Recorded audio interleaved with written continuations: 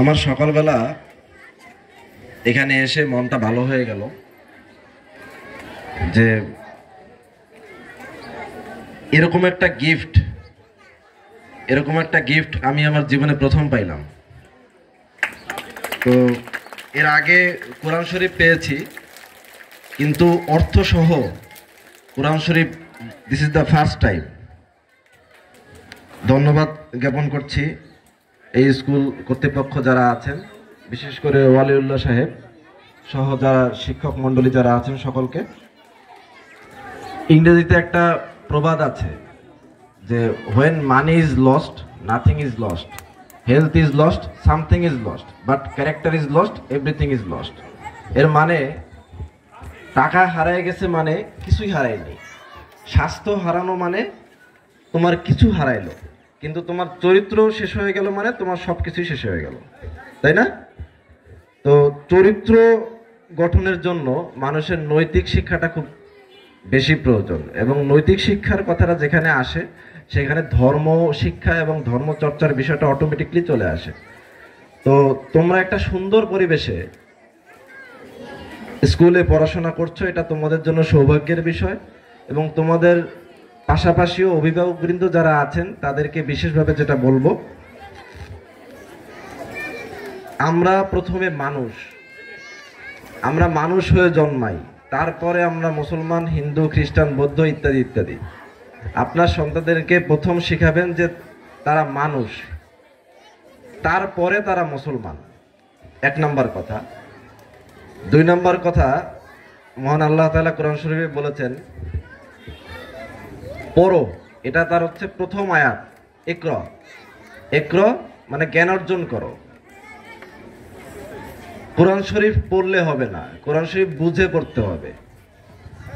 আমাদের দেশে বিশেষ করে সালথায় আসার পরে যেটা আমি দেখলাম, এখানে কোরআন শরীফ বুঝে পড়ার মানুষ খুব কম। কোরআন শরীফ পড়ার মানুষ অনেক আছে, কিন্তু কোরআন শরীফ বুঝে পড়ার মানুষ খুব কম। তাই না? তো কোরআন শরীফটা বুঝে পড়তে হবে। This is the complete code of life একটা মানুষের জীবনে যা যা প্রয়োজন সব কিছুই এর মধ্যে আছে। তো আপনার সন্তানদেরকে কখনো ভুল কিছু শিক্ষা দিবেন না। এতে ওরা বিভ্রান্ত হতে পারে। যেমন, ওর ক্লাসে একজন মুসলিম শিক্ষার্থী বাদে, ওর একজন মুসলিম বন্ধু বাদেও কিন্তু একটা হিন্দু বন্ধু থাকতে পারে। থাকতে পারে না? তো ও যাতে ওর আচার আচরণ, চলাফেরা, কথাবার্তা, এর দ্বারা মানে একজন মুসলিম বন্ধুর সাথে যে ধরনের আচার আচরণ থাকবে, একজন হিন্দু বন্ধুর সাথে যাতে ভিন্ন কোনো আচার আচরণ সে না করে, এই ব্যাপারটাতে লক্ষ্য রাখবেন অবশ্যই। কারণ ধর্মের ব্যাপারে ধর্মচর্চা আমি প্রথমেই বলেছি যে নৈতিক শিক্ষার জন্য ধর্ম শিক্ষা অবশ্যই প্রয়োজন। কিন্তু ধর্ম নিঃসন্দেহের মানে ভালো একটা বিষয়, তাই না? পৃথিবীর এমন কোনো ধর্ম নাই যেখানে আপনার চুরি করা, ডাকাতি করা, ঘুষ খাওয়া, সুদ খাওয়া, হত্যা করা, ধর্ষণ করা বা যে কোনো ধরনের অপরাধকে প্রশ্রয় দেওয়া হয়েছে। এমন কোনো ধর্মগ্রন্থ কি আছে? কোনো ধর্মগ্রন্থ নাই। তো সব ধর্মগ্রন্থই ভালো কথাই বলে, কিন্তু আমরা এটার ভুল ব্যাখ্যা দিয়ে ভুল কাজগুলো করে ফেলি। এটা হচ্ছে আমাদের মেন সমস্যা। তো আমি, আপনারা যারা অভিভাবকবৃন্দ যারা আছেন, তারা আপনাদের সন্তানদেরকে বিশেষভাবে খেয়াল রাখবেন এবং নৈতিক শিক্ষা, এই ওসি মহোদয় যেটা বলেছেন যে পরিবার হচ্ছে আমাদের প্রথম বিদ্যালয়। আমি আমার বাচ্চাকে, আমার বাচ্চা সব সময় যাকে দেখছে সব সময় যাকে অনুসরণ করছে, সেটা হচ্ছে তার বাবা মা।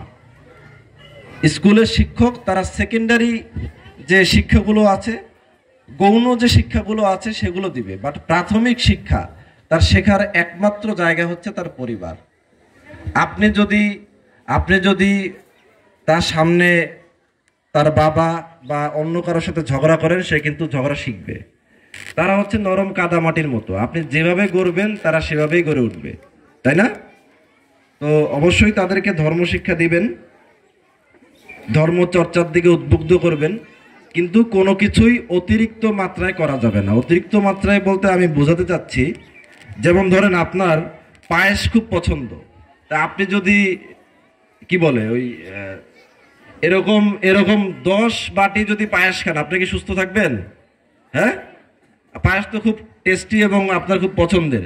বিষয়টা হচ্ছে সব কিছুরই একটা সীমারেখা আছে। এই সীমারেখাকে কখনো অতিক্রম করা যাবে না।